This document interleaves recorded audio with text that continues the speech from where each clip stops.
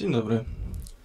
E, nazywam się Tomasz Banyś i e, tutaj w ramach e, Instytutu ICAS, tak jak zostało przedstawione, mam dzisiaj przyjemność pokazać Państwu cybernetyczną metodę analizy procesów sterowania międzynarodowego. Nasz instytut zajmuje się generalnie nie tylko, e, znaczy w planach Instytutu mamy e, zajmowanie się nie tylko procesami międzynarodowymi, natomiast szeroko pojętą, szeroko pojętą cybernetyczną metodą analizy zagadnień również demograficznych i ekonomicznych. Natomiast tutaj w, z uwagi na tytuł dzisiejszej konferencji Jaka Polska w wieku Azji, chcemy przedstawić e, analizę obecnego stanu e,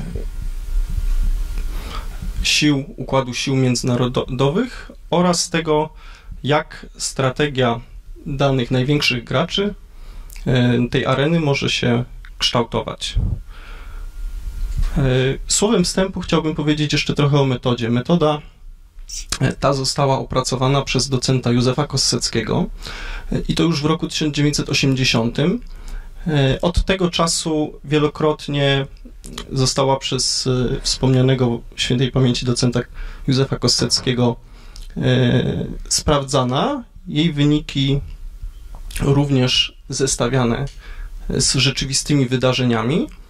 O tym pokrótce, jak ta metoda działa, jak, e, na czym ona się opiera, e, to będzie pierwsza część naszego wykładu, natomiast później przejdziemy do opisu obecnej sytuacji i wyników badań, które udało nam się w ciągu ostatnich kilku miesięcy zebrać. E, przede wszystkim metoda ta dzieli globalny dzieli świat, dzieli globalnych, y, globalny system y, geostrategiczny na y, państwa. Państwa te są traktowane jako systemy, a ponieważ system zmienny w czasie to proces, dlatego pierwszy, pierwszy ważny punkt tej metody to to, że na każdy kraj, który, na każde państwo, które znajduje się w otoczeniu geopolitycznym geostrategicznym innych podmiotów patrzymy jako na system zmienny w czasie, czyli na proces autonomiczny. Z e, uwagi na to, e, będzie, znaczy z uwagi na to, że jest to proces, a nie system, to później zmiany jego stanów w czasie są bardzo ważne. Tutaj takim słowem wstępu dodam również, że to, co zostało odkryte przez docenta Kosseckiego, e, bazujące wcześniej na pracy Stefana Kurowskiego o e, potędze stali, e, o, o potęgotwórczej roli stali w dziejach świata. Tym odkryciem docenta Koseckiego było to, że właśnie ta moc swobodna, o której będziemy tutaj szerzej mówić e, na następnych e, slajdach, e, jest tą mocą, która może zostać wykorzystana do sterowania się danego państwa względem innych państw. Czyli każdy z. Wychodząc z tego wzoru, że moc całkowita to jest właśnie P, PC, to jest właśnie moc swobodna PS, suma mocy swobodnej PS, mocy jałowej, czyli wykorzystywanej na podtrzymywanie, na podtrzymywanie e, życia systemu oraz mocy roboczej wykorzystywanej do pozyskiwania mocy swobodnej z otoczenia. E, tutaj w tej metodzie skupiamy się właśnie na mocy swobodnej. No i bezpośrednio z tego wynika pojęcie energii, czyli energia jest to skumulowana moc e, w danym rozpatrywanym przedziale czasowym. Y, bezpośrednio z tego również y, wynika ten y, wzór po prawej stronie, że energia to jest całka z tej mocy swobodnej, jaką dany system zgromadził do rozpatrywanego okresu. No i ostatnia bardzo ważna rzecz. Tutaj my nie badamy w tej metodzie bezpośrednio zbioru oryginałów, czyli rzeczywistej potęgi sterowniczej danego kraju, natomiast posługujemy się zbiorem e, obrazów, czyli produkt symptomem. E, profesor Kurowski tutaj udowodnił, że idealnie do tego nadaje się e, produkcja żelaza oraz stali. E, tutaj jeszcze pokrótce powiem, czym powinien charakteryzować się właśnie produkt symptom, czyli e, taki mm, indykator zależności pomiędzy potęgą różnych krajów. Przede wszystkim nie, nie może być on rozmieszczony punktowo, czyli różnego rodzaju rudy żelaza na przykład, czy takie pierwiastki jak miedź, złoto nie są tutaj dobrym wskaźnikiem, ponieważ Mm, nie wszystkie kraje je posiadają i nie, są, nie dają odzwierciedlenia mm, tego, jak e, układ sił pomiędzy poszczególnymi krajami się układa. Również nie mogą być to łatwo konsumowalne e, rzeczy takie jak e, żywność albo chociażby ropa. Produkt symptom powinien przede wszystkim mieć możliwość odkładania go w gospodarce, czyli taką y, inwestycyjną naturę. Tutaj doskonale oprócz stali i chociażby y, betonu y, moglibyśmy się posługiwać produkcją kwasu siarkowego, produkcją e, e, znaczy produkcją kwasu siarkowego betonu obok żelaza i stali, natomiast kolejną implikacją jest to, że statystyki dla tych produktów nie są kompletne i nie, nie są rejestrowalne od odpowiednio długiego czasu.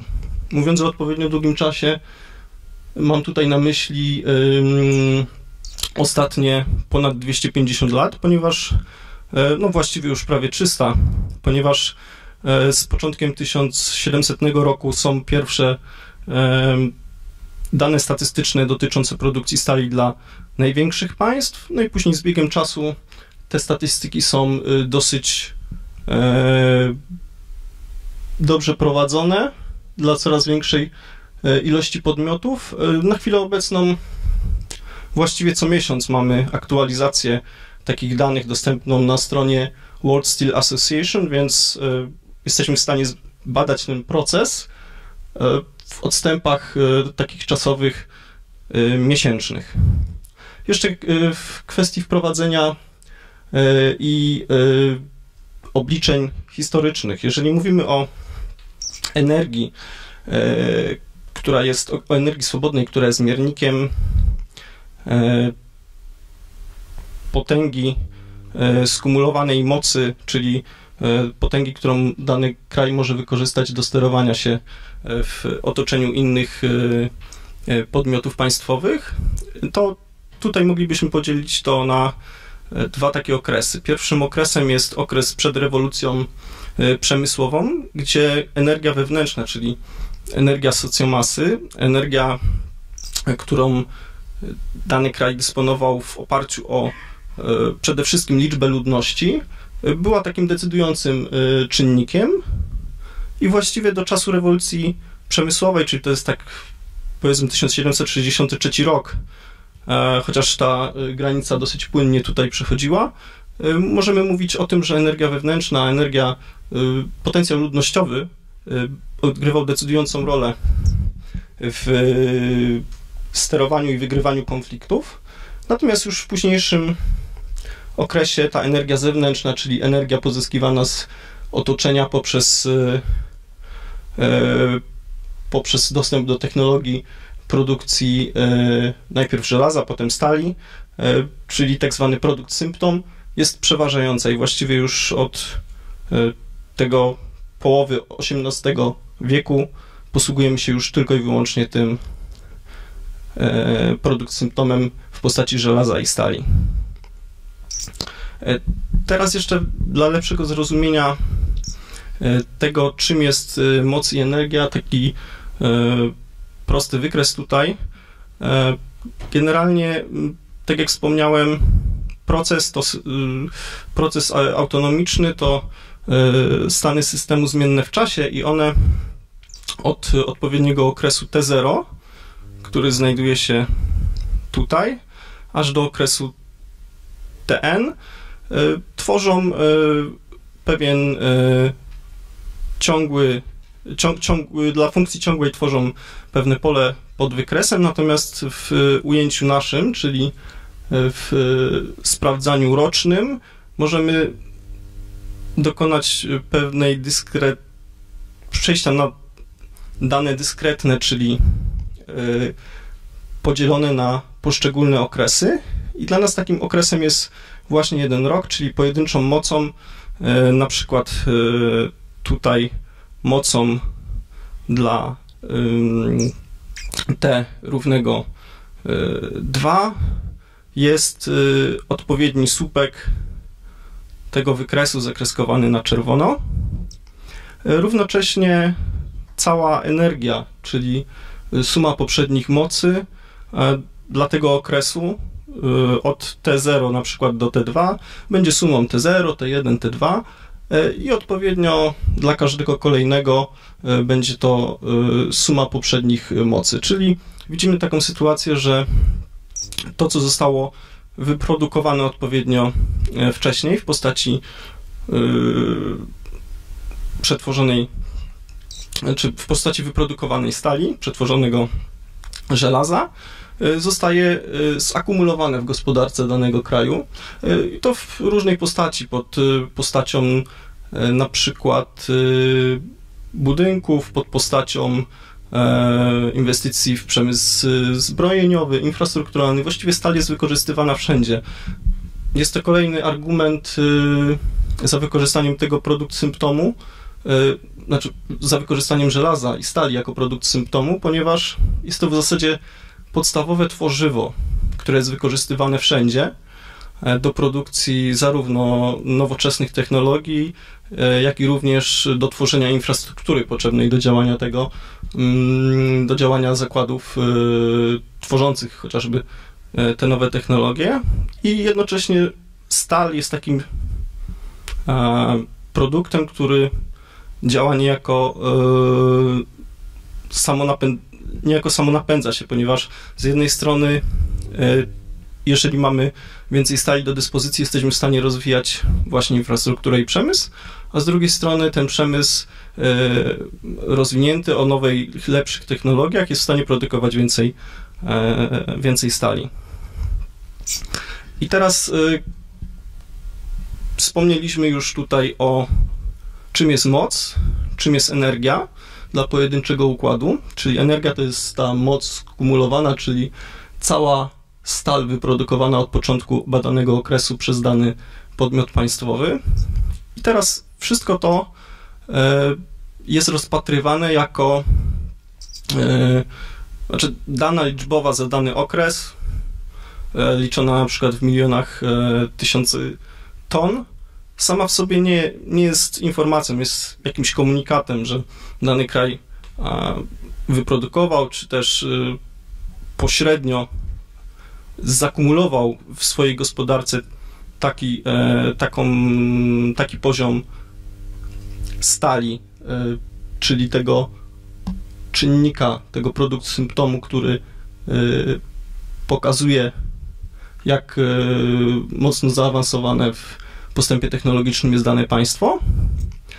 I dlatego musimy to odnieść mm, do wartości globalnych, czyli po prostu każdy z tych krajów, produkując odpowiednią ilość tego surowca, posiada swoją własną energię. Suma tych energii jest wartością 100%, natomiast każdy poszczególny kraj, porównując się do tych 100%, posiada jakiś procent udziałów w sterowaniu międzynarodowym, czyli mm, tak w nawiązaniu stan każdego, stan, wielkość produkcji każdego z tych krajów jest komunikatem, również sumaryczna, sumaryczna ilość i dopiero relacja pomiędzy właśnie produkcją jednostkową konkretnego podmiotu, a całością jest e, tą informacją o udziale w procesach sterowania.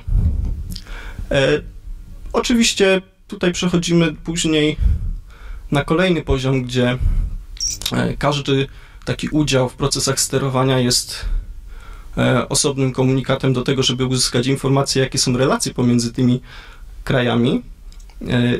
I korzystamy tutaj z takiego wykresu, który, na którym są wyszczególnione y, trzy punkty. Y, punkt 2, 1 i 0,5. Y, są to punkty takie newralgiczne, ponieważ w przypadku przekroczenia szczególnie tych punktów skrajnych 2,5 dany kraj zdobywa hegemonię nad swoim konkurentem. I mówimy tutaj nie tylko o kraju, ale również o sojuszach.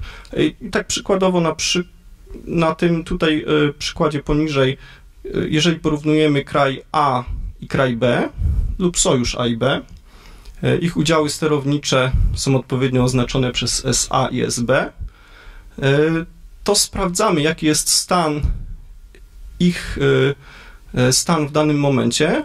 Możemy to umieścić tutaj na wykresie. Jeżeli u góry byłaby wartość powiedzmy 10, a na dole byłaby wartość 1, oczywiście wyrażone w procentach, no to tutaj wtedy dostajemy punkt 10, a więc znajdujemy się na tym żółtym polu, e, czyli polu AA. E, Wynika stąd, że kraj A ma zdecydowaną dominację nad krajem B i może narzucić mu e, swoje, swoją wolę. Z punktu matematycznego, mm, jeszcze tak przechodząc do argumentacji, dlaczego jest to akurat punkt 2.0, jeżeli mamy dwa kraje, jeden ma dwukrotnie większy potencjał, dwukrotnie większą energię niż e, pierwszy, to może połowę tej swojej energii wykorzystać do tego, żeby mm, zniwelować działania drugiego kraju, a później przez narzucenie, e, przez wykorzystanie kolejnej połowy narzucić dokładnie, tak, sprowokować dokładnie taki proces sterowania, jaki jest w kręgu jego zainteresowania. Więc punkt 2.0 jest tutaj bardzo ważny i w takim punkcie obecnie znajduje, znajdują się dwa bardzo ważne kraje e, układanki geostrategicznej e, będące w obszarze Azji, czyli zarówno Chiny, jak i Japonia. E, tutaj jeszcze taki krótki wykres przedstawiający to, jak energia danych krajów, przepraszam, jak udziały w procesach sterowania danych krajów przedstawiały się na przestrzeni wieków możemy wyróżnić takie trzy okresy, mniej więcej do 1820 roku. Tutaj mieliśmy do czynienia ze Szwecją i z Francją jako e, tymi e, najważniejszymi e, potęgami.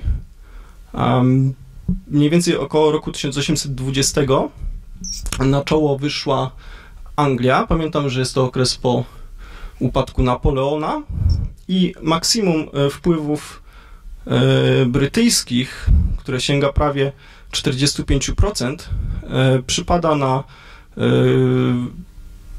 około rok 1870, czyli jest to okres, w którym e, królowa Wiktoria zostaje jednocześnie cesarzową Indii, a więc takie ukoronowanie rządów brytyjskich, panowania brytyjskiego na świecie. Do roku 1910 udziały sterownicze Anglii systematycznie malały, natomiast na pierwszy plan wychodziły e, udziały sterownicze e, Stanów Zjednoczonych, co zresztą przekładało się później na e, wyniki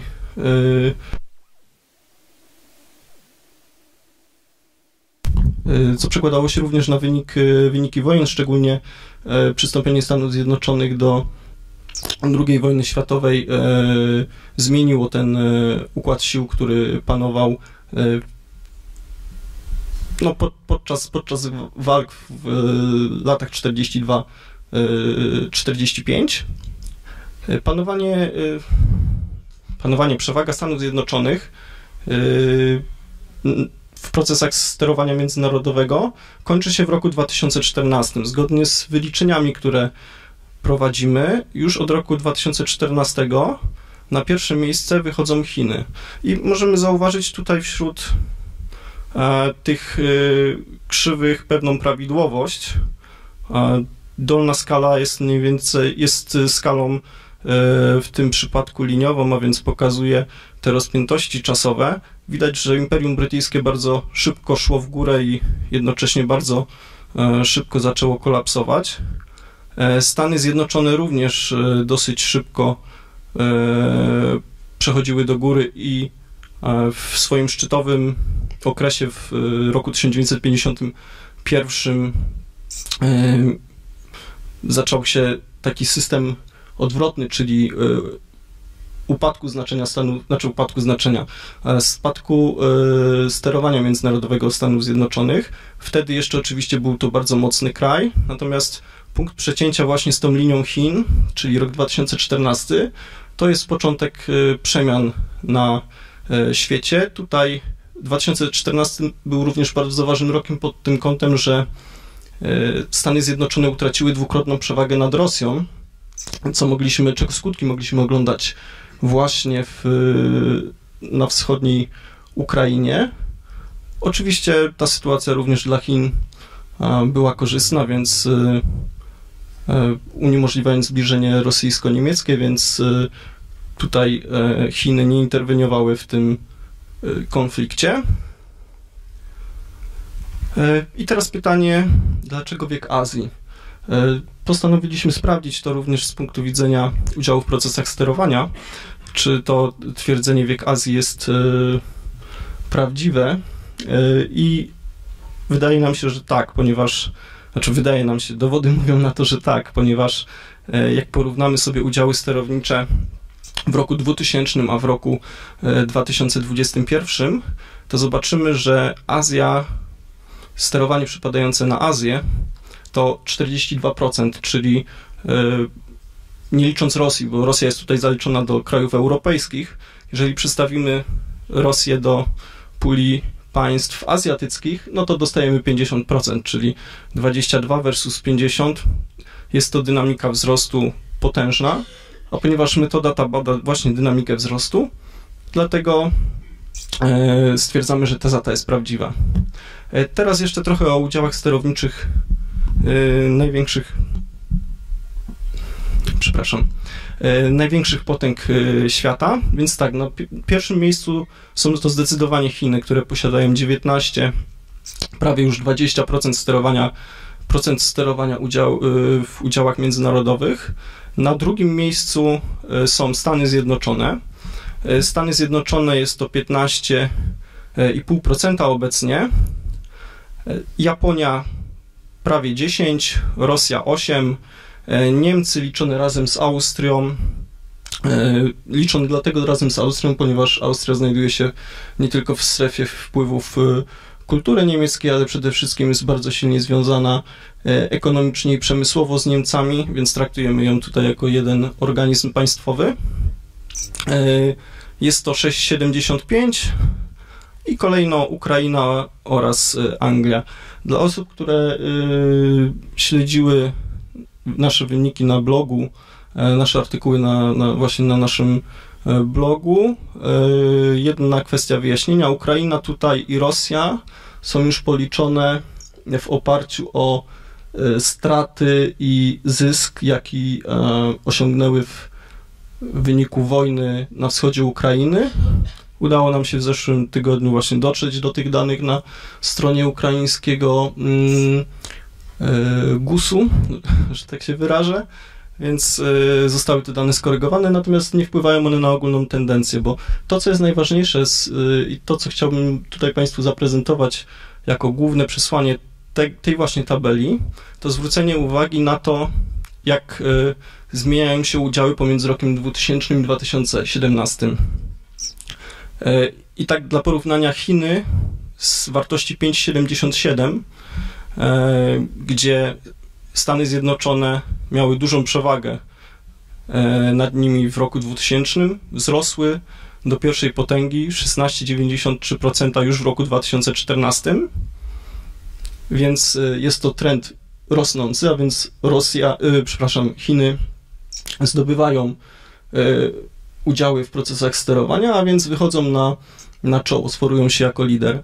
E, natomiast Stany Zjednoczone z pozycji 21,46 przechodząc na pozycję 15,50 są w naszym zestawieniu krajem, który najbardziej traci w udziałach, najbardziej traci w sterowaniu międzynarodowym, a więc w zasadzie jest największym przegranym, ponieważ już e, Chiny wyprzedziły Stany Zjednoczone i e, USA dalej pikuje w dół, stąd te perturbacje na arenie międzynarodowej. No, nie tylko mówimy tutaj o sprawie ukraińskiej, ale też e, o tym, że e, cały rejon Azji i Pacyfiku jest w szczególnym zainteresowaniu Stanów Zjednoczonych.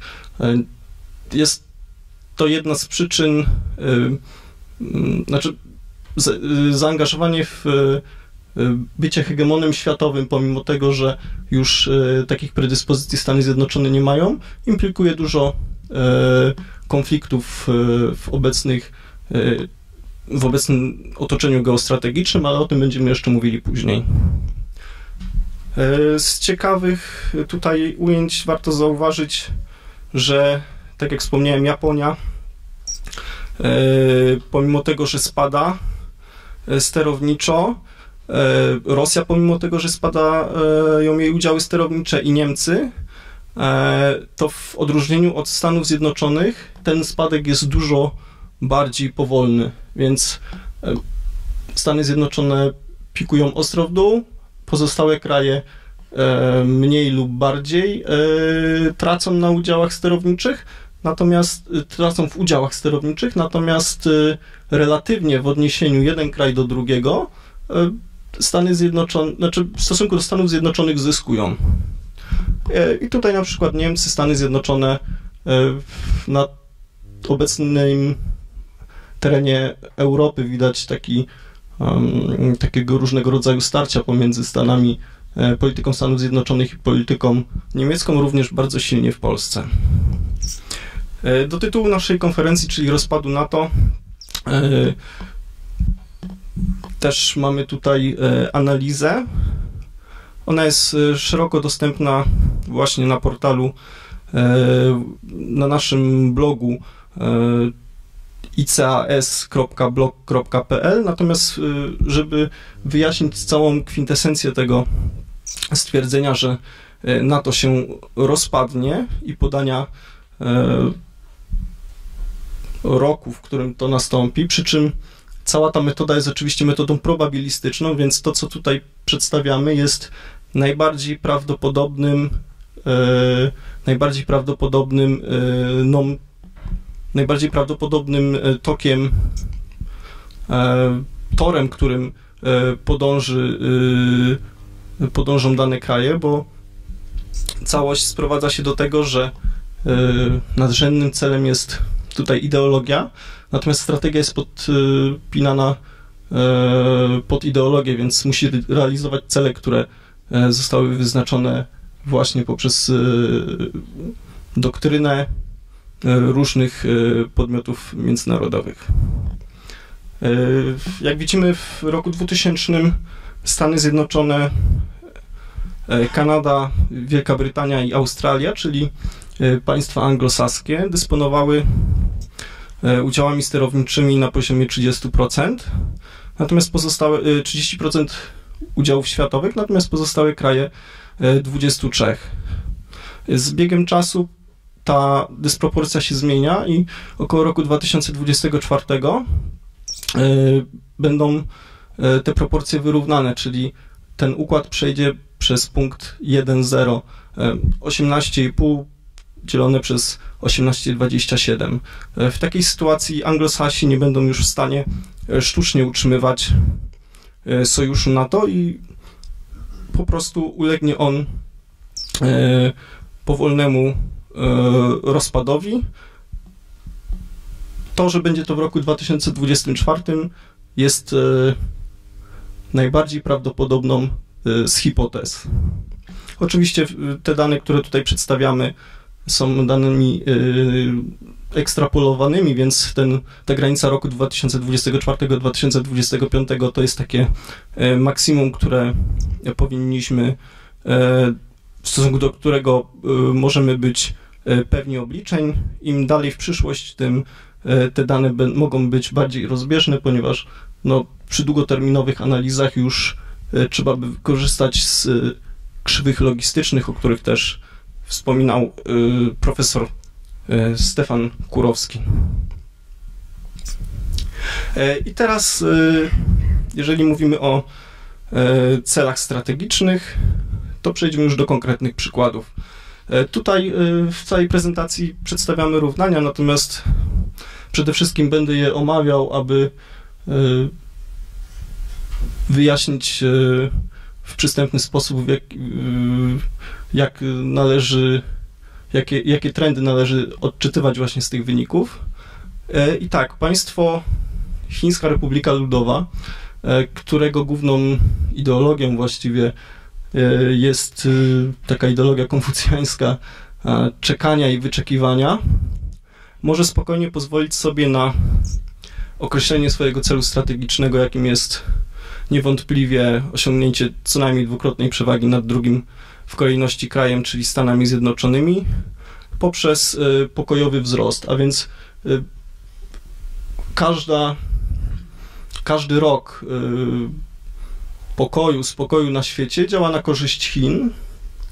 E, I ponieważ zakładając, że znaczy przy założeniu, że do roku 2021 e, nie wydarzyłaby się żadna wielka katastrofa militarna, naturalna lub coś zaburzającego ten naturalny wzrost potęgi Chin, to w roku 2021 Chiny osiągną dwukrotną przewagę nad Stanami Zjednoczonymi. E, I jest to właśnie najbardziej prawdopodobne e, rozwiązanie e, tej kwestii spornej, czyli około roku 2021 Stany Zjednoczone będą po prostu zepchnięte do roli mm, już mocarstwa e, najwyżej, co najwyżej regionalnego. Drugim ważnym punktem, i to jest chyba kwintesencja tego, e, tej sytuacji, znaczy tego wykładu i e, w ogóle tematu, podejmowanego tematu tego polityki azjatyckiej, E, to dwukrotna przewaga Chin nad Japonią, która według naszych wyliczeń powinna nastąpić w styczniu 2018 roku. E, czyli w styczniu 2018 roku to jest taki najbardziej prawdopodobny termin, kiedy um, Chiny uzyskają dwukrotną przewagę nad Japonią, czyli będą mogły nią sterować. Zapowiedzią, znaczy konsekwencjami tego e, mogą być, e, może być wyjście Chin wyjście, przepraszam, Japonii spod e, hegemonii amerykańskiej. Sojusz ze Stanami Zjednoczonymi może zostać odwieszony i to jest główna przyczyna, myślę, niepokoi e, amerykańskich i główna przyczyna tego, że teatr działań polityczno-ekonomicznych najbardziej dynamicznie rozwija się właśnie w E, Azji. E, tutaj takim preludium do tego, że e, Chiny mogą już osiągać albo być blisko osiągnięcia tej dwukrotnej przewagi nad Japonią, są chociażby takie wydarzenia jak próba podpisania albo zapędy do podpisania pokoju japońsko-rosyjskiego. Przypomnijmy, że Rosja ze swoim sterowaniem na poziomie 8% już jest od roku 2014 e, zdominowana przez Chiny, więc generalnie polityka rosyjska jest w dużej mierze e, prowadzona przez państwo środka. Teraz dwa zagrożenia dla Chin, które e,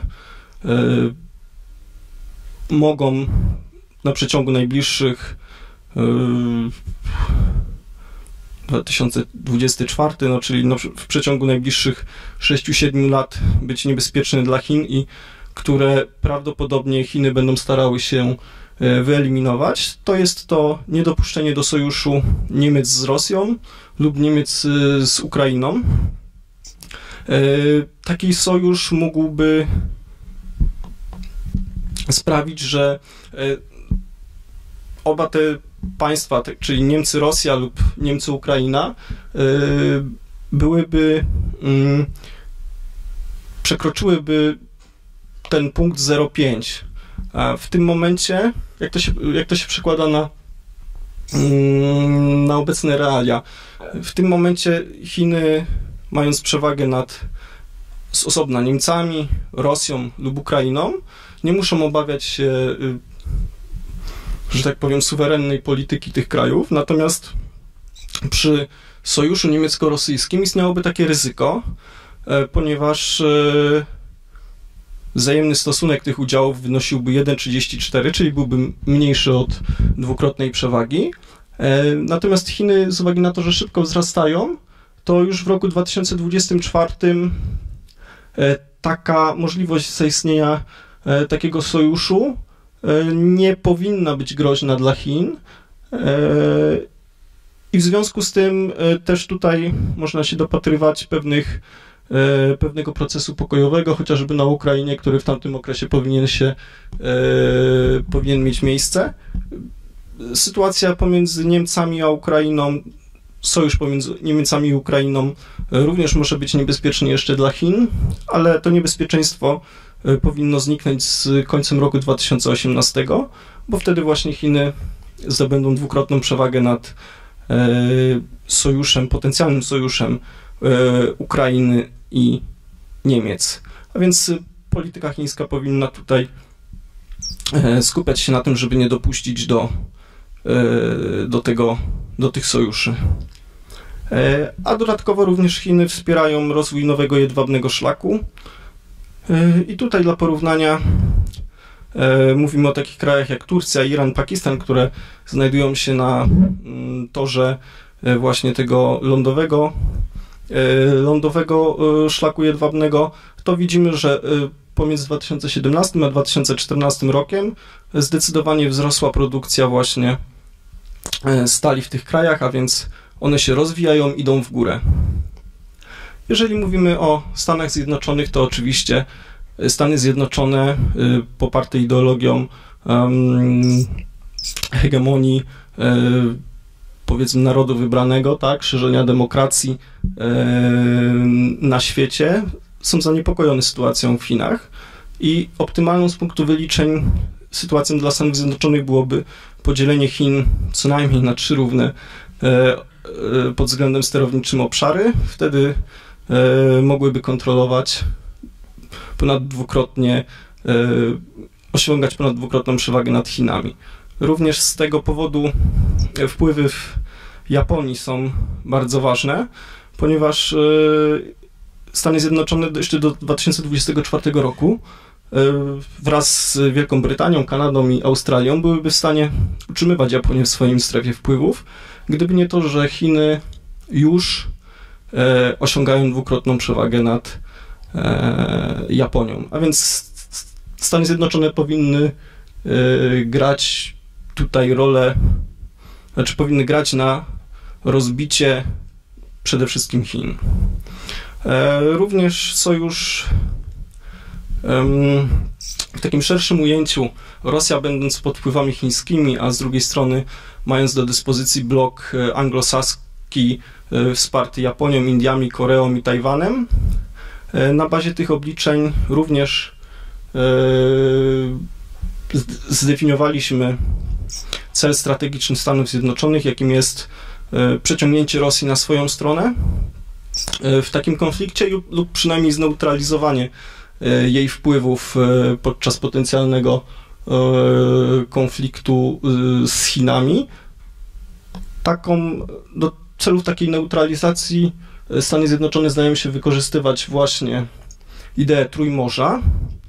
E, natomiast e, w strategii Stanów Zjednoczonych widzimy to, że idea Trójmorza powinna korespondować sojuszniczo z Ukrainą, czyli możemy postawić tutaj tezę, że Stany Zjednoczone przedstawić tezę, no i na bazie tego, tych obliczeń udowodnić, że Stany Zjednoczone, dla Stanów Zjednoczonych korzystne byłoby wyrzucenie Polski z struktur Unii Europejskiej, żeby wraz z innymi państwami tego regionu mogła i Ukrainą mogła stworzyć przeciwwagę na zapleczu, taką dywersyjną przeciwwagę na zapleczu Rosji. E, jeżeli mówimy o Niemcach, to e, niemiecka ideologia przewiduje przede wszystkim e, budowę mm, imperializmu niemieckiego, takiej wielko, wielkopaństwowości niemieckiej. Natomiast Niemcy znajdują się pod dwukrotnym, pod dwukrotnym wpływem e, przewagi sterowniczej przede wszystkim Ameryki. Więc celem strategicznym Niemiec będzie musiało być, albo przynajmniej najbardziej prawdopodobne jest, że celem strategicznym Niemiec będzie e, próba wyjścia spod hegemonii Stanów Zjednoczonych i może się to zrealizować e, na dwa sposoby. Albo poprzez zwiększenie potencjału sterowniczego Niemiec, tak żeby przekroczyć ten punkt 2.0, Czyli w e, obecnych realiach musiałoby to być zwiększenie mm, stanu posiadania Niemiec o około 1 punkt procentowy. E, potencjalną taktyką, jaka mogłaby być tutaj wykorzystana przy realizacji tej strategii, mógłby być na przykład częściowy, yy, częściowy yy, ekonomiczny, bardziej yy, rozbiór zachodnich terytoriów Polski, zachodnich terenów Czech, czyli powiększenie stanu e, posiadania niemieckiej gospodarki e, właśnie o te tereny, które sumarycznie będą tworzyły tą wartość 1.0. A drugą opcją jest to, że e, mogą Niemcy spróbować wejść w sojusz z krajem, no tutaj przede wszystkim Rosja i Ukraina jest brana pod uwagę jako naturalni, też historyczni partnerzy Niemiec i wtedy taki sojusznik zapewniłby Niemcom wyjście spod tej dwukrotnej e, przewagi niemieckiej. Jak widzimy, jest tutaj zbieżność celów Niemiec. Um, na tym slajdzie widzimy, że e, w pewnych celach strategicznych e, Niemcy są. Cele niemieckie są zbieżne z celami amerykańskimi, ponieważ drugim celem strategicznym Niemiec, jaki wyznaczyliśmy, to przede wszystkim przejęcie sterowania co najmniej 50% sterowania w udziałach Unii Europejskiej. Unia Europejska jest obecnie zbyt silna, aby Niemcy mogły jej w pełni przewodzić. Natomiast albo poprzez zwiększenie swojego sterowania, czyli na przykład poprzez zabór, za, za, zabór ekonomiczny części, no później może i polityczny części terytoriów przyległych do obecnej e, Republiki Niemieckiej może to się zrealizować, albo poprzez wyrzucenie odpowiedniego potencjału poza nawias Unii Europejskiej. I tutaj jest ta zbieżność polityki amerykańskiej i niemieckiej, ponieważ oba te kraje w naturalny sposób dążą do wyrzucenia Polski e, lub Polski i grupy państw właśnie o takim potencjale sterowniczym ze struktur Unii Europejskiej, przy czym później e, te cele się rozbiegają. Z jednej strony Stany Zjednoczone chciałyby budować e, sojusz e, między morza Ukrainy przeciwko Rosji, z drugiej strony Niemcy wolałyby takiego, nie dopuścić do takiego zbliżenia, natomiast poszerzyć również swoje, swój stan posiadania. Tutaj w dowolnych proporcjach ten stany mogą się, że tak powiem, miksować, czyli e, możliwe są różnego rodzaju warianty e, pośrednie. No i na sam koniec również chciałbym wspomnieć o Polsce. Wychodząc z, z ideologii nacjokratyzmu, czyli swobody dla y, y, swobody y, zewnętrznej i wewnętrznej dla wszystkich narodów, y, pierwszym przede wszystkim celem strategicznym Polski powinno wyjść, powinno być wyjście spod hegemonii zarówno Stanów Zjednoczonych, jak i Niemiec. W tym momencie są to ponad 4 i 11-krotne przewagi, a więc odpowiednio zwiększając potencjał Polski, możemy łatwo obliczyć, że Polska powinna znaleźć sojusznika, którego udział w sterowaniu międzynarodowym to co najmniej 6,4%, a tak jak pamiętamy tutaj, cofnę się do tej poprzedniej tabelki, no takie warunki spełniają Chiny, Stany Zjednoczone, Japonia, Rosja i Niemcy. Z przyczyn obiektywnych Stany Zjednoczone i Niemcy będąc, mając szeroki wpływ na to, co się dzieje w Polsce, nie mogą być brane pod uwagę. E, Chiny i Japonia przede wszystkim są e, dosyć odległymi krajami, e, natomiast też dużo silniejszymi sterowniczo od Rosji, a żeby taki sojusz był korzystny dla nas, to przede wszystkim nie możemy dopuścić, znaczy przede wszystkim chcąc wyjść spod hegemonii, spod zwierzchnictwa i, i spod wpływów sterowniczych y, Stanów Zjednoczonych i Niemiec nie powinniśmy dać się wepchnąć e, w przewagę sterowniczą e, kraju, który, dzięki któremu możemy wyjść spod e, obecnej sytuacji. Dlatego no, najrozsądniejsze wydaje się wykorzystanie kraju o najmniejszym potencjale sterowniczym, czyli Rosji. Natomiast, żeby taki sojusz y, e, polsko-rosyjski e, nie prowadził do hegemonii rosyjskiej, to musi on się składać z odpowiedniej e, ilości członków, których udziały sterownicze będą, wspólne udziały sterownicze będą wynosiły co najmniej 2,44. Um, tutaj na tym etapie kończy się właściwie analiza strategiczna. E, ta część przedstawiona poniżej jest jedną z taktyk, którą można e, według nas e, obrać właśnie przy e, wyznaczaniu takiego, mm, takiego sojuszu. Ważne jest to, żeby postawić na kraje, które, e, których potencjał sterowniczy się zwiększa E, a więc kraje, które siłą rzeczy będą dążyły do tego, żeby nie dać się zdominować temu trzeciemu naj, naj, największemu sojusznikowi, czyli Rosji. Jak widzimy z obliczeń, które tutaj zestawiliśmy, doskonale do tego nadawałyby się właśnie Turcja, Iran oraz Unia Euroazjatycka. I już w roku 2022 e, z obliczeń podajemy, że w roku 2022 taka przewaga dwukrotna już by nam nie groziła, czyli jest to pierwsza data, gdzie uważamy, że najbardziej prawdopodobne jest zaistnienie e, sojuszu, który nie będzie zagrażał bezpośrednio Polsce, a którym znajdzie się właśnie państwo umożliwiające nam wyjście spod wpływów zarówno niemieckich i amerykańskich, przez co moglibyśmy się stać właśnie systemem e, autonomicznym, e, który nie jest zdominowany przez inny system. Dodatkowo jeszcze tak na sam koniec wspomnę, e, sojusz taki byłby również do zaakceptowania,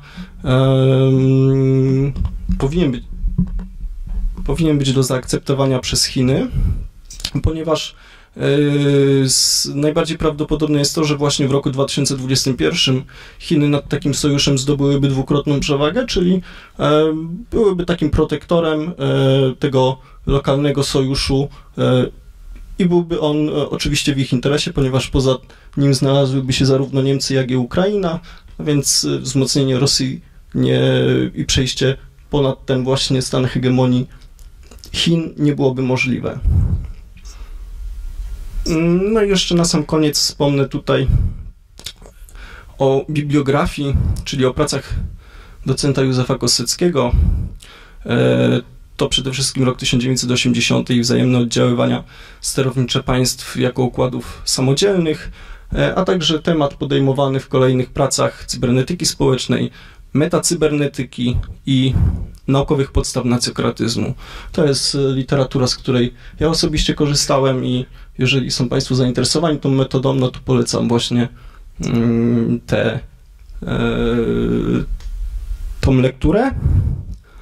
Tutaj cybernetyka społeczna jest taką pozycją, jeżeli, jeżeli, jeżeli sprawy związane z matematyką są e, bardziej e, naszym słuchaczom znane i e, no, poruszałem się w nich dosyć płynnie, to polecam właśnie pozycję cybernetyka społeczna z roku 81.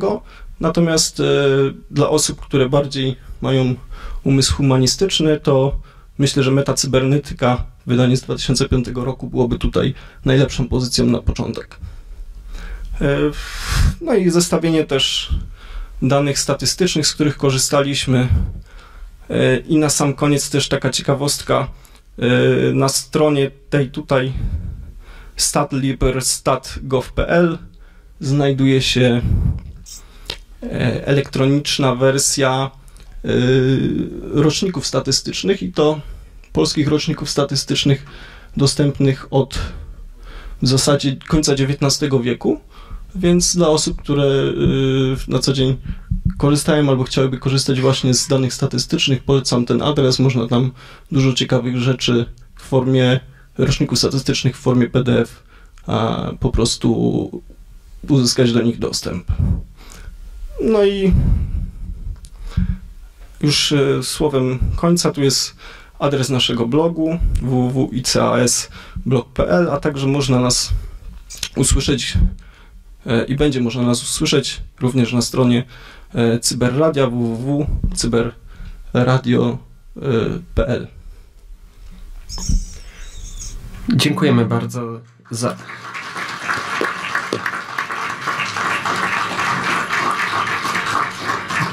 Teraz czas na pytania. E, przypomnę tylko, że aby zadać pytanie z sali, e, trzeba udać się do stanowiska z mikrofonem. Znajduje się po prawej stronie na dole e, właśnie z tego miejsca, gdzie, gdzie, gdzie mówię. W międzyczasie zacznę z pytaniami z internetu. Seminarzysta Piotr jak można zbadać, ile stali zostało skumulowane, a ile zostało wyeksportowane do innego kraju? Hmm, oczywiście tym tematem ten temat był już podejmowany przez profesora Kurowskiego. Mm, są osobne statystyki prowadzone dla mm, ilości stali skonsumowanej, ilości stali eksportowanej, importowanej, przetwarzanej na E, inne e, produkty. Natomiast jeszcze na tym etapie nie są one e, wystarczająco znaczy nie, nie możemy z nich korzystać, ponieważ dane te są od powiedzmy tam początku pierwszej, początku drugiej dekady XX wieku, natomiast produkcja stali jako taka jest dostępna od roku 1700, jak wspomniałem. Ponadto profesor Kurowski udowodnił, że w zasadzie już po roku 57 te dane mocno się zszywają, więc możemy korzystać z produkcji stali zamiast e, z rzeczywiście inwestowanej, e, wielkości inwestowanej e, w przemysł. Dodam jeszcze, że od roku że w roku 57 produkcja całościowa do roku 57 to jest zaledwie 13% tej produkcji, którą cały świat skumulował do dzisiejszego dnia, więc z automatu te dane już są, mm, nie mają takiego wpływu na obliczenia, które robimy z każdym kolejnym rokiem. Dzień dobry, Dominik Dudek. E, dwa pytania mam. Pierwsze pytanie e, odnośnie NATO i jego rozpadu ewentualnego. Wspomniał Pan o anglosasach. Jest coś takiego w sferze wywiadu, co nazywa się Five Eyes Alliance i to jest pięć krajów anglosaskich. Tam jest jeszcze Nowa Zelandia. Tutaj Pan jej nie uwzględnia w tych wynikach. Tak, no, yy, Nowej Zelandii nie uwzględniałem, yy, ponieważ ona nie jest uwzględniana nawet w obecnych rocznikach statystycznych wydawanych przez World Steel Association. Po prostu produkcja stali jest tam na tyle mała, że byłby to promil całej tej wartości, więc nie jest to istotny wpływ. Dla porównania również mogę dodać, że na przykład pomimo tego, że liczymy Białoruś, to jej udziały też są na tyle małe, że właściwie możemy je na pewnych takich globalnych elementach pomijać. Dobrze, to jakby prowadzi do drugiego mojego pytania. Chodzi mianowicie o to, że w epoce informacyjnej e, coraz większą e, wagę w globalnych procesach sterowniczych odbywa informacja. I myślałem, czy produkt Symptom nie trzeba by wzbogacić o na przykład moc obliczeniową zainstalowaną w danym kraju, która też coraz bardziej istotna jest z punktu widzenia choćby wojen w internecie. E, generalnie tak, rewolucja informacyjna ma miejsce, natomiast inwestycje opierają się na energomaterii, więc e, czynnikiem, który może implikować e, proces e, decyzyjny na temat tego, czy produkować więcej, czy mniej, może być informacja. Natomiast suma summarum jako czynnik inwestycyjny, czynnik militarny nadal wykorzystujemy energomaterię, więc e, inne mogą być e, przyczyny wzrostów lub spadków produkcyjnych, natomiast na chwilę obecną stal jest tym produktem, który e, nadal będziemy badać, szczególnie, że jak udowodnił właśnie docent Kosecki w swoich ostatnich pracach, ta korelacja pomiędzy danymi rzeczywistymi obliczonymi na bazie stali jest bardzo wysoka, tutaj rzędu 98%. Dzień dobry, Stanisław Rak. Mam takie pytanie. Do danych prezentacji użyliśmy danych dyskretnych. Czy nie lepiej byłoby użyć danych ciągłych, dzięki czemu łatwiej wyznaczyć punkty przegięcia i możliwe estymacje? Um, trzy, yy, wymieniłbym tutaj trzy rzeczy. Przede, przede wszystkim tak, dane ciągłe mogą być najbardziej interesujące, ale pamiętajmy, że dla tych e, okresów od 1700 roku te dane są e, jeszcze bardziej poszatkowane, bo są w zestawieniach dziesięcioletnich podawane, więc tutaj byłoby duże wchodzenie w szczegóły i to jest właśnie drugi powód, dlaczego tego nie robimy, ponieważ cybernetyka ma dostarcza, dostarczać prostych narzędzi, natomiast nie komplikować je. E, a trzecim powodem jest to, że i tak tutaj e, spodziewamy się e, pewnych odchyleń kilkumiesięcznych, więc w tym ujęciu dane gromadzone co miesiąc w zupełności wystarczają. Jeżeli dla okresów wcześniejszych maksymalne odchylenie, maksymalne odchylenie było plus minus 1,1 roku, no to tutaj e, dysponując danymi o 12-13-krotnie bardziej zagęszczonymi, e,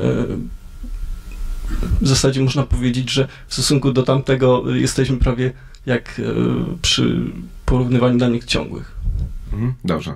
A teraz pytanie. Wyznaczyliśmy, że potrzebujemy partnera, którego udział w sterowaniu jest większy niż 6,4% w tym momencie, czy w przyszłości i czy nie lepiej wybrać partnera, którego udział w sterowaniu będzie spadał i łatwiej będzie nam go przeskoczyć w czasie.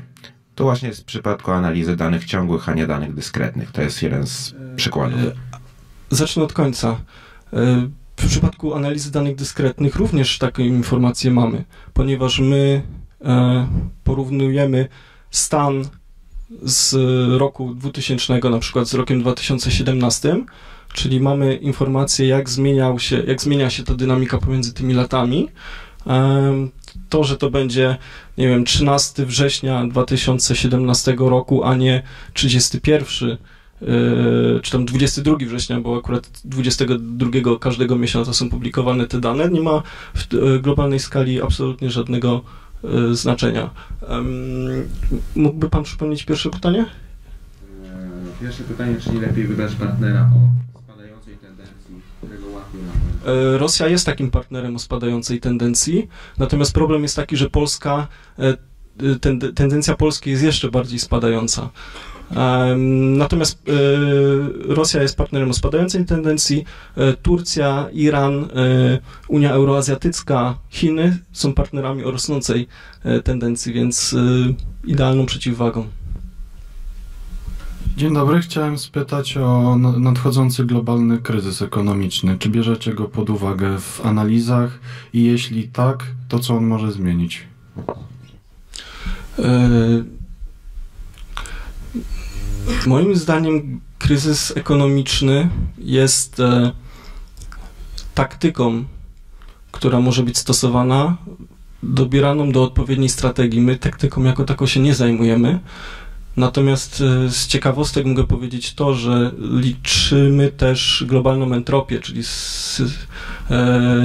stopień nieuporządkowania świata i na przykład y, maksimum tej entropii przypadało na rok 2008, gdzie mieliśmy do czynienia z wielkim kryzysem, więc nie, y, nie jesteśmy w stanie odpowiedzieć na pytanie e, dotyczące taktycznych elementów, czyli na przykład kryzysu ekonomicznego.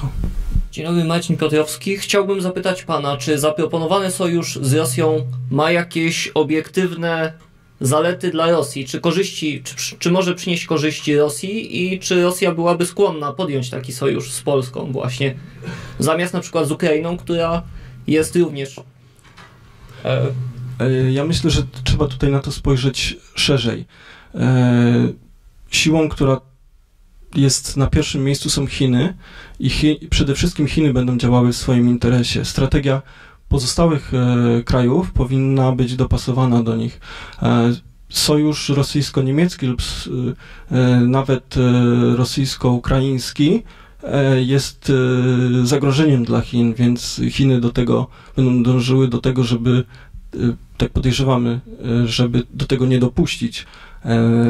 Jakie korzyści może przynieść sojusz z Polską Rosji? Przede wszystkim długoterminowo unormowanie e, sytuacji na, w rejonie Donbasu, tak? Jak wspomniałem, przewidujemy, że około roku 2023 e, byłoby możliwe takie e, uspokojenie tamtej sytuacji, no a przez to, że ten konflikt się skończy, powinny również różnego rodzaju sankcje ekonomiczne zostać cofnięte, więc w Rosja, która wydaje mi się przejawia elementy systemu powstrzymywanej e, obecnie rozbudowie, takiej trochę cywilizacji może bardziej stacjonarnej, chociaż tutaj mogę się mylić, potrzebuje tego okresu stabilizacji. Więc okres, więc stabilizacja jest tym, co może, e, co może Rosja e, zyskać. Dobrze, dziękujemy za, za odpowiedzi na pytania. E, w tej chwili ogłaszamy przerwę, a następnie część dyskusyjna z udziałem prelegentów. Bardzo dziękujemy.